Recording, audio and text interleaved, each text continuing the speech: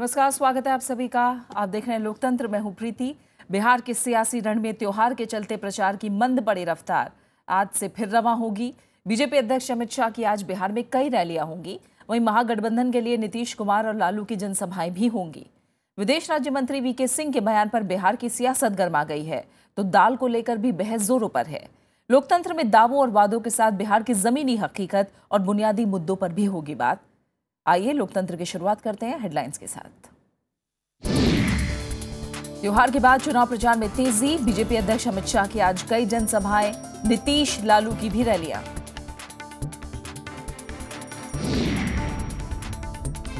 विदेश राज्य मंत्री वीके सिंह के बयान पर बिहार में सियासत तेज, महागठबंधन ने केंद्र सरकार से पूछा सवाल। दाल के दाम पर बीजेपी नेता सुशील मोदी के राज्य सरकार पर आरोप। कहा, जमाखोरों पर कार्रवाई नहीं कर रहे हैं नीतीश कुमार।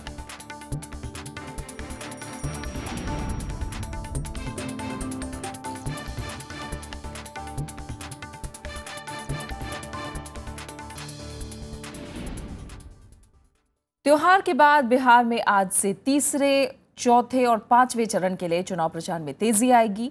बीजेपी अध्यक्ष अमित शाह आज बिहार में कई रैलियों को संबोधित करेंगे तो केंद्रीय मंत्री भी प्रचार के रण में उतरेंगे। महागठबंधन की तरफ़ से मुख्यमंत्री नीतीश कुमार और आरजेडी अध्यक्ष लालू प्रसाद यादव की जनसभाओं के कार्यक्रम हैं। बिहार विधानसभा चुनाव के तीसरे दौर के लिए 28 अक्टूबर को मतदान होना है, जबकि चौथे और पाँचवें दौर के लिए एक नवंबर और पाँच नवंबर को वोट डाले जाएँगे।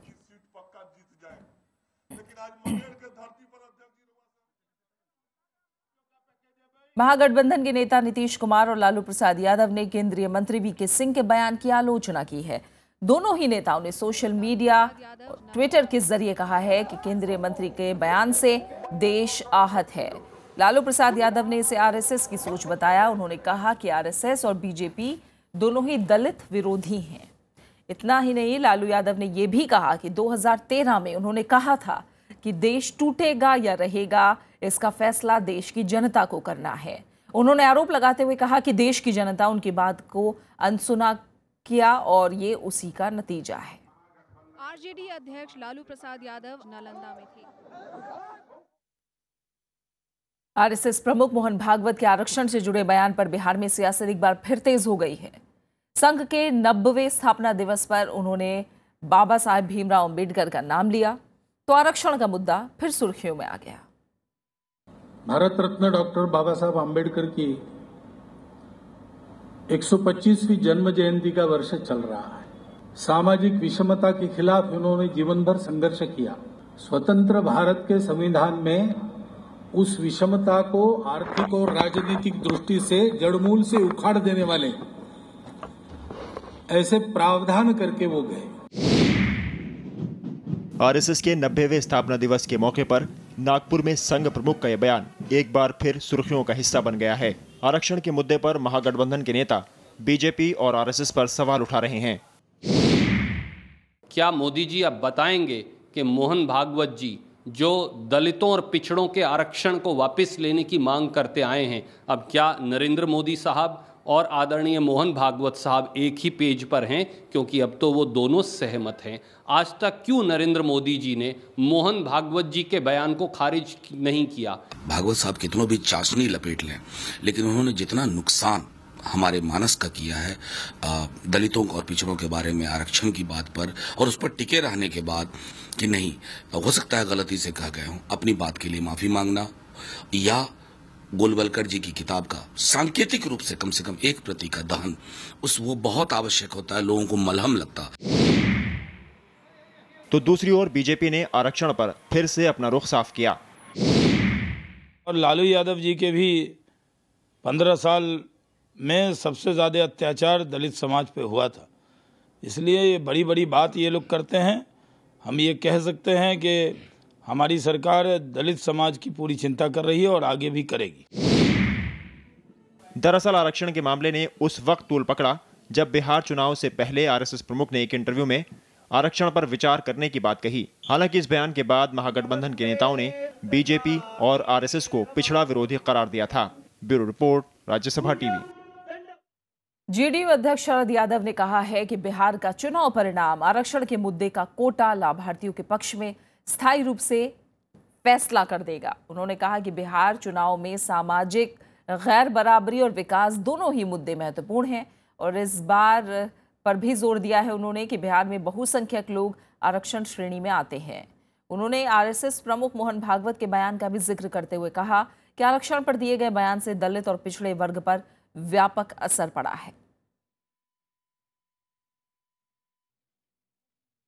बीजेपी नेता सुशील मोदी ने दाल की बढ़ी कीमतों के लिए राज्य सरकार को दोषी ठहराया है। सुशील मोदी ने कहा कि मुख्यमंत्री नीतीश कुमार जमाखोरों पर कार्रवाई नहीं कर रही है, जिसकी वजह से दाल की कीमत राज्य में बढ़ी हुई है। उन्होंने कहा कि नीतीश कुमार जानबूझकर ऐसे लोगों के खिलाफ कोई कदम नहीं उठा रहे हैं।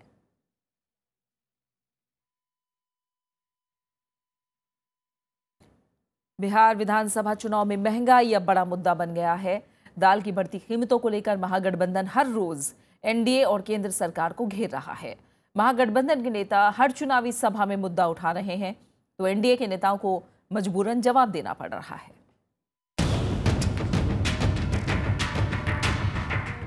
कहते हैं, चुनाव में मुद्दों का महत्व बहुत होता है और इसकी बानगी बिहार चुनाव में भी देखने को मिल रही है। महँगी दाल और महँगाई, चुनाव में ऐसा मुद्दा बना है कि केंद्र सरकार के बड़े बड़े मंत्रियों को जवाब देना पड़ रहा है। महागठबंधन के नेता इस बड़े मुद्दे को हाथ से निकलने नहीं देना चाहते हैं। चुनावी बयार को तेज करने के लिए अब महागठबंधन केंद्रीय मंत्रियों के इस्तीफे मांग रहा है। बिहार के मुख्यमंत्री नीतीश कुमार खुलकर केंद्र सरकार को चुनौती देते हुए पूछ रहे हैं कि बाकी राज्यों में क्यों बढ़ी हुई है दाल की कीमतें। मुंबई में दो सौ रुपये किलो, गुजरात में मध्य प्रदेश में तो वहाँ दो सौ रुपये किलो बिक रहा है उसके लिए जवाब दे हम ही है। जी राधा मोहन जी। है? उधर केंद्र सरकार के मंत्रियों को जवाब देना भारी पड़ रहा है। इम्पोर्टेड हमारे पास में जब दल दाल है तो राज्य सरकार क्यों नहीं क्या कहते हैं उसको खरीद रही है?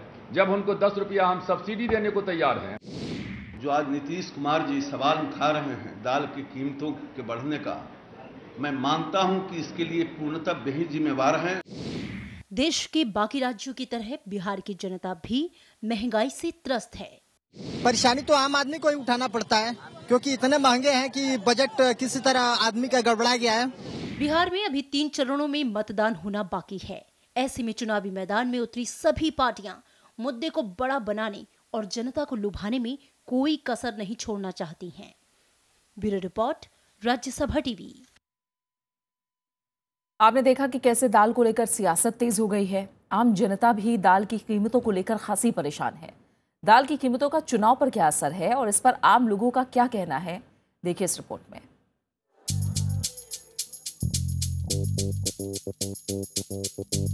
दिल्ली से लेकर पटना तक महँगी दाल लोगों की ज़ुबान पर है। बिहार चुनाव पर पूरे देश की निगाहें हैं। लिहाजा मुद्दों के बाज़ार में इस वक्त दाल पर चर्चा सबसे ज़्यादा हो रही है। लेकिन महँगी दाल का शिकार सबसे ज़्यादा आम लोग हो रहे हैं। इन्हें पहले प्याज ने रुलाया और अब दाल दर्द दे रही है। बिहार के मोतिहारी के बाशिंदों की माने तो ये मुद्दा उन्हें वोट डालते वक्त भी याद रहेगा। महँगा तो भैया है कहाँ कोई चीज़ का डील हुआ है अभी तक? महँगाई का जो असर दिख रहा है आदमी उसके हिसाब से किसी पार्टी को डालेगा। ऐसी आमदनी है और ज़्यादा हो रहा है बाल बच्चेदार आदमी उसको कि लोग सरकार को दोषी मानेगा, कोई भी। नीतीश कुमार के खिलाफ वोट जाएगा, मेरी समझ से। महँगी दाल से गोपालगंज के बाशिंदे भी परेशान हैं। आम लोग महँगी दाल से परहेज कर रहे हैं तो उसका असर दुकानदारी पर भी पड़ रहा है। आलम यह है कि बाज़ार में दो से तीन क्विंटल दाल की बिक्री आज 30-40 किलो से ज़्यादा नहीं बढ़ पा रही। दाल इतना ना महँगाई हो गया कि हम लोग खरीद के भी नहीं खा पाते हैं और ग्राहक भी हमारे दुकान पर नहीं आ पाती है। कस्टमर कोई भी आ रहा है जो एक किलो दो किलो दाल ले जाता था इस समय ढाई सौ ग्राम ले जा रहा है। ऊपर से ब्लेम हम ही लोग को कर रहा है कि आप महँगा बेच रहे हैं। अपने देश में तो दाल ही दाल चावल स्टेपल डाइट है। अब जब वही नहीं रहेगा तो आदमी को बहुत शारीरिक रूप से भी कष्ट होगा। इतना महँगा दाल हो जाने से चलते उन लोग नहीं खरीद पा रहे गरीब लोग। बिहार चुनाव में महँगी दाल को लेकर इस वक्त ज़बरदस्त आरोप प्रत्यारोप चल रहा है। केंद्र सरकार महँगी दाल का ठीकरा, राज्य सरकार पर फोड़ रही है तो नीतीश कुमार केंद्र की नीतियों को जिम्मेदार ठहरा रहे हैं। मंचों से लेकर सोशल मीडिया तक महँगी दाल के मुद्दे पर सियासत हो रही है। Bureau report, Rajya Sabha TV. और इस समय हमारे साथ पटना से हमारी संवाददाता कृति मिश्रा जुड़ी हैं। उनका हम रुख करेंगे। कृति कल दशहरा के बाद आज से फिर प्रचार ज़ोर पकड़ेगा। आप बताएँ हमें कि आज कौन से बड़े नेता कहाँ कहाँ रैलियाँ करने वाले हैं?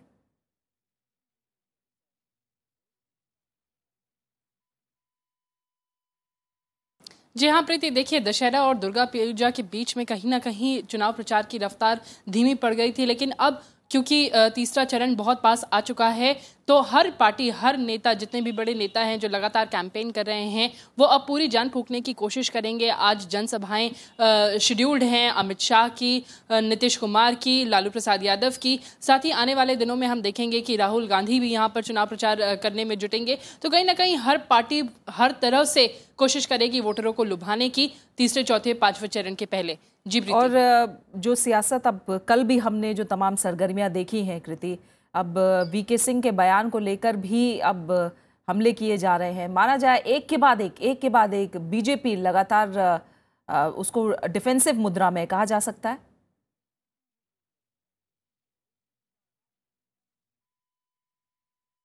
देखिए प्रीति, इस स्टेटमेंट के बाद कहीं ना कहीं बीजेपी बैकफुट पर आ गई है, लेकिन वीके सिंह ने कल कैटेगोरिकली कह दिया था कि उनके स्टेटमेंट का ये कोई मतलब नहीं था।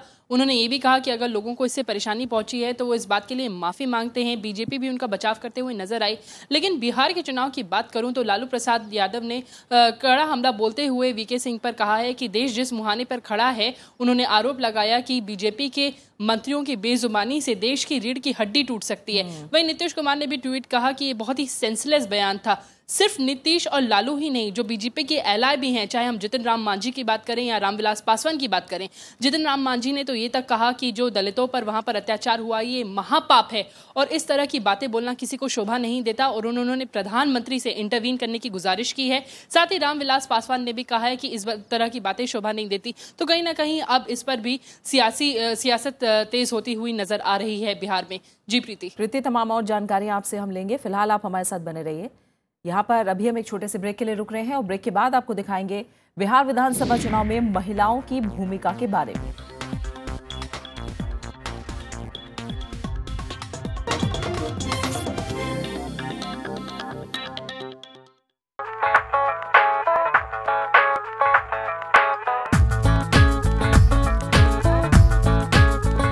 इस अंक में हम आपको रूबरू करा रहे हैं अफ्रीका से। चौवन देशों का समूह है Africa. Democratic one for a democratic republic Africa में हो रहा है तेज़ी से विकास। Building a new cohesive strong nation देखिए इंडिया अफ्रीका फोरम समिट के अवसर पर बदलता अफ्रीका सिर्फ़ राज्यसभा टीवी पर।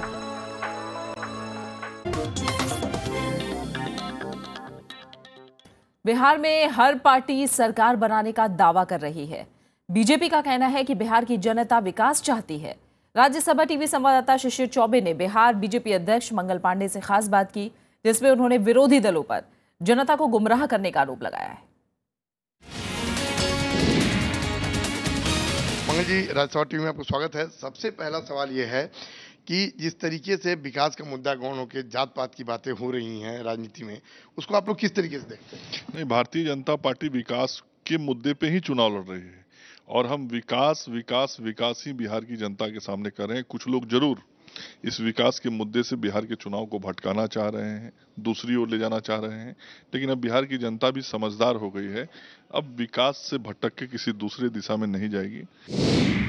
जो राजनीतिक परिस्थिति जो बिहार में उठी उठी है, और लगभग हर चुनाव में हम लोग देखते हैं कि जो भाषा का संयंत्रण जो होना चाहिए, नियंत्रण जो होना चाहिए, वो धीरे धीरे गड़बड़ होती जा रही है। राजनीति केवल चुनाव तक नहीं होती है, राजनीति पूरे देश को दिशा देती है और राजनेता जो होते हैं, उन पे पूरे देश की नज़र होती है। हर राजनेता को अपने शब्दों के चयन में मर्यादा का ध्यान रखना चाहिए। लेकिन दुर्भाग्य, हम बिहार के लोगों का ऐसा ज़रूर है कि हमारे पास एक राष्ट्रीय जनता दल के नेता श्री लालू प्रसाद जी हैं, जो कभी इसका ध्यान नहीं रखते हैं।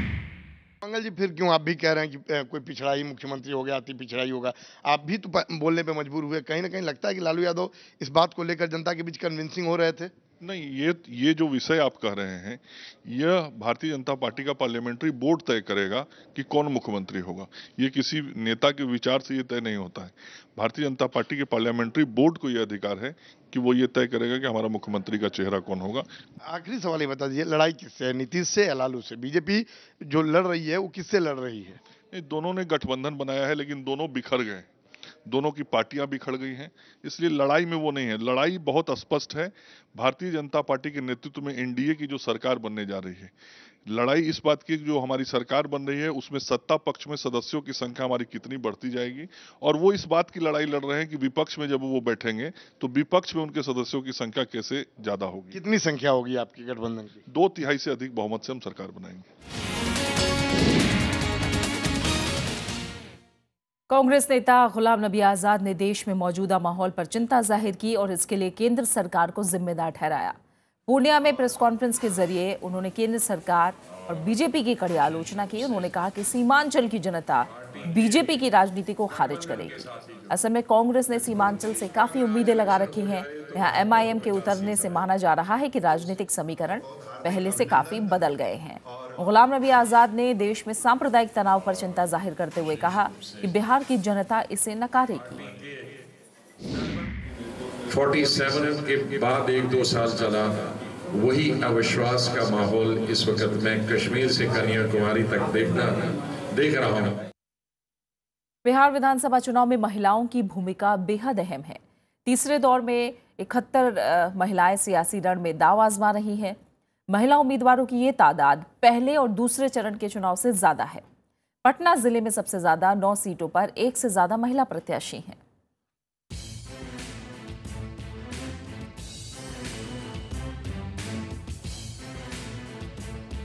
ये सियासी समर है बिहार का। बिहार चुनाव के पहले और दूसरे चरण की वोटिंग हो चुकी है। पहले दो दौर में पुरुषों की तुलना में महिलाओं का मतदान फ़ीसदी ज़्यादा रहा। मतदान केंद्रों पर लंबी कतारों में महिलाएँ दिखीं। पहले दो दौर की वोटिंग में महिलाओं ने ये बता दिया कि इस बार चुनाव में जीत हार में उनकी अहम भूमिका रहेगी। 12 अक्टूबर को पहले और 16 अक्टूबर को दूसरे दौर के मतदान के बाद बिहार में 28 अक्टूबर को तीसरे चरण के लिए वोट डाले जाएँगे। बिहार विधानसभा चुनाव के तीसरे दौर में एक करोड़ पैतालीस लाख से ज़्यादा मतदाताओं की कुल तादाद में सड़सठ लाख से ज़्यादा महिला वोटर हैं। तीसरे चरण में छह जिलों की 50 विधानसभा सीटों पर कुल 808 उम्मीदवार ज़ोर आजमा रहे हैं इनमें इकहत्तर महिला प्रत्याशी हैं जबकि विधानसभा चुनाव के पहले दौर में चौवन और दूसरे दौर में 32 महिला उम्मीदवार मैदान में थीं। विधानसभा चुनाव के तीसरे दौर में छह जिलों की 19 विधानसभा सीटों पर महिला उम्मीदवारों की तादाद एक से ज़्यादा है पटना ज़िले में सबसे ज़्यादा नौ विधानसभा सीटों बाढ़, दीघा, बांकीपुर, कुम्हरार, पटना साहिब, दानापुर, मनेर और मसौड़ी पर एक से ज़्यादा महिला प्रत्याशी दाव आजमा रही हैं। Bureau report, Rajya Sabha TV Patna से संवाददाता कृति मिश्रा जुड़ी हैं। कृति, हमने पहले दो दौर में भी देखा, महिलाएँ बढ़ चढ़ कर बाहर आईं और पुरुषों से ज़्यादा मतदान महिलाओं ने किया है। लेकिन टिकट देने की अगर बात करें तो बिहार विधानसभा चुनाव में माने कि हर दल ने महिला शक्ति को नजरअंदाज किया है।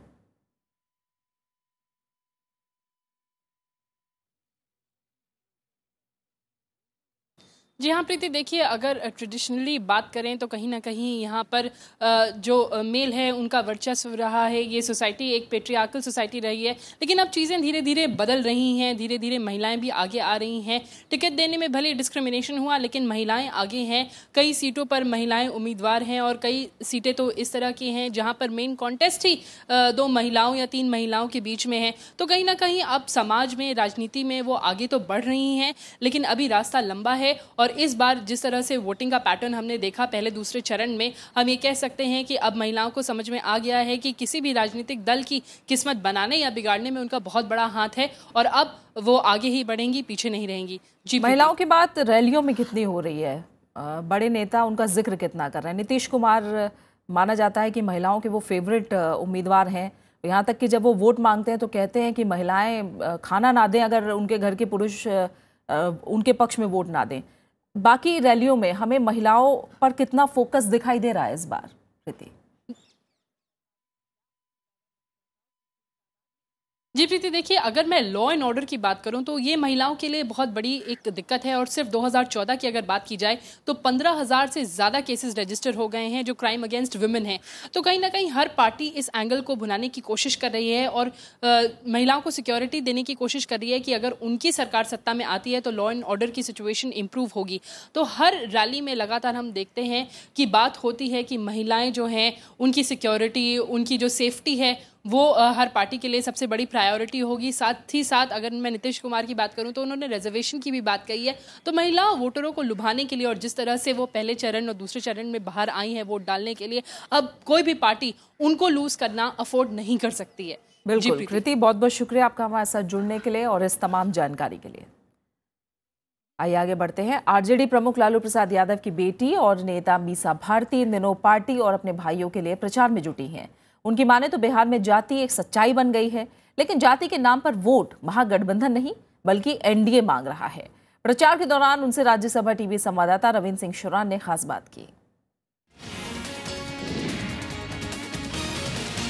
महुआ विधानसभा क्षेत्र से प्रत्याशी, आरजेडी प्रत्याशी तेज प्रताप की बहन और आरजेडी की नेता मीसा भारती जी हमारे साथ हैं। अभी अपन ने देखा कुछ साल पहले, मैडम, थोड़ा सा आरजेडी का ग्राफ गिरा है। तो क्यों आप मतलब आरजेडी को इस बार लोग वोट दें? क्या खास कारण है इसका? देखिए आरजेडी वैसे देखा जाए तो सबका ग्राफ गिरा है। लोकसभा चुनाव को अगर आप छोड़ दें, मोदी जी, जो नरेंद्र मोदी जी हमारे प्रधानमंत्री हैं, उन्होंने क्या सिर्फ़ वादे ही किए हैं, जुमले। आप उनके जो राष्ट्रीय अध्यक्ष हैं, वो कहते हैं, मोदी जी आते हैं, भाषण में कुछ बोल जाते हैं, उनके राष्ट्रीय अध्यक्ष जी आते हैं, कहते हैं, ये तो जुमला था। तो अब ये बिहार के लोग को सोचना है कि किस किसका साथ देना? क्या इस बार भी चुनाव वही जातिवाद के आधार पर ही होगा? देखिए जाति एक स- सच है इसको कोई नकार नहीं सकता। और सबसे ज़्यादा आज की डेट में बीजेपी इसका इस्तेमाल कर रही है। आप अभी हमारे केंद्रीय मंत्री हैं गिरिराज सिंह जी ने। क्या ज़रूरत पड़ी? अगर आप जाति को नहीं मुद्दा बना रहे हैं तो आपको ये कहने की क्या ज़रूरत पड़ी कि बीजेपी से कोई भी स्वर्ण जाति का चीफ मिनिस्टर का उम्मीदवार नहीं होगा। नहीं, लेकिन एफआईआर तो लालू जी के खिलाफ भी हुई है। देखिए एफआईआर हुआ है देखिए एफआईआर नेताओं का काम है भाषण देना और चुनाव आयोग का काम है केस करना। लालू जी ने कुछ भी ऐसा नहीं कहा। लालू जी ने जो सच्चाई थी जो बिहार की सच्चाई है उसको बोला है। और मोदी जी तो खुलेआम जनता को घुस दे रहे थे कि हम आपको टीवी देंगे फ्री में टीवी देंगे जिसके ऊपर आप मोदी जी का भाषण सुन सकते हैं। जो आरक्षण का मुद्दा है जो। मोहन भागवत जी ने आरक्षण का मुद्दा उठाया। तो ये सब चुनाव को देख के रख के ध्यान में रख करके इस तरह के इश्यूज़ आते हैं। तो मेरा कहना है कि चुनाव जब एक बार खत्म हो जाए तब आप इस पर डिस्कशन कराइए ना। कि आरक्षण होना चाहिए नहीं होना चाहिए इसको क्यों मुद्दा? हमारे तरफ़ से तो विकास को मुद्दा बनाया जा रहा है जिसपे बैंक फुट पे जा रही है बीजेपी तो एक बार सामने आए हमसे विकास के मुद्दे पे हमसे बात करें। थैंक यू शुभकामनाएँ। ये थी अमीषा भारती जी जिनका कहना है कि इस विधानसभा चुनाव में आरजेडी को पहले से ज़्यादा बहुमत मिलेगा और इस बार फिर से एक बार विश्वास जनता का पैदा होगा। महुआ से कैमरामैन प्रेम के साथ रमन सिंह शोराण राज्यसभा टीवी। दशहरे के मौके पर बिहार के युवाओं में नई उमंग देखी गई, जो लोग पहली बार वोट डालने जा रहे हैं। उनके भीतर इस चुनाव को लेकर खासा उत्साह है। आइए देखते हैं क्या सोच रहे हैं बिहार के युवा। त्योहार के इस माहौल में भी जो लोगों के बीच चर्चा है वो चुनाव और चुनावी मुद्दों की है। मेरे साथ कुछ युवा वोटर जुड़ रहे हैं। इस समय मैं उनसे जानने की कोशिश करती हूँ।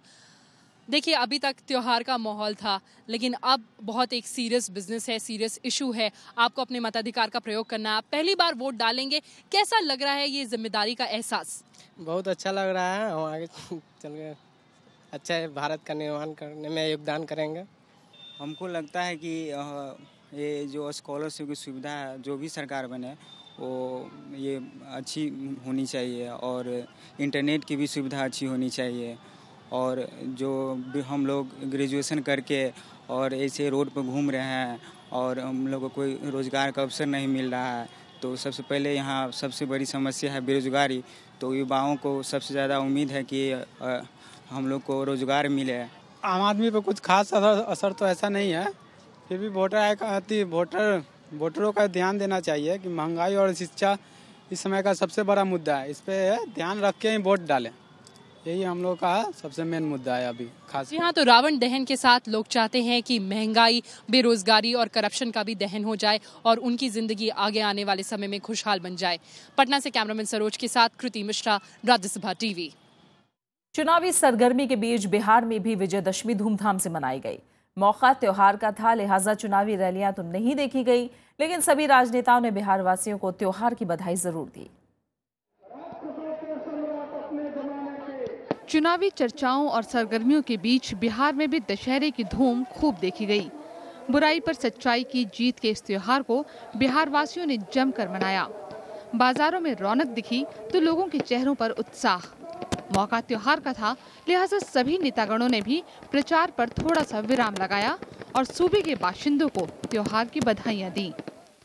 प्रधानमंत्री ने सोशल नेटवर्किंग साइट ट्विटर के ज़रिए लिखा, विजयदशमी की हार्दिक शुभकामनाएँ। वहीं बिहार के मुख्यमंत्री नीतीश कुमार ने भी ट्विटर के ज़रिए लोगों को शुभकामनाएँ दी। उन्होंने लिखा कि, विजयदशमी के अवसर पर आप सभी को हार्दिक शुभकामनाएँ। वहीं आरजेडी प्रमुख लालू प्रसाद यादव ने कुछ इस अंदाज में ट्वीट किया। बुराई पर अच्छाई और फरेब पर सच्चाई की जीत के पर विजयदशमी के अवसर पर आप सभी को हार्दिक शुभकामनाएँ। Bureau report, Rajya Sabha TV. और इसी के साथ फ़िलहाल लोकतंत्र में इतना ही। इजाज़त दीजिए। नमस्कार।